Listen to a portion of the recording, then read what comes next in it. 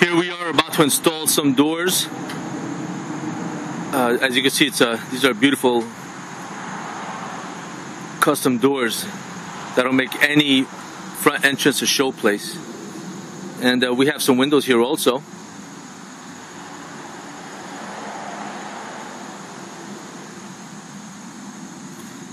They will be uh, professionally installed. If you have any questions, and it's something that you want perhaps for your house or you want to know what type of doors is best, let us know.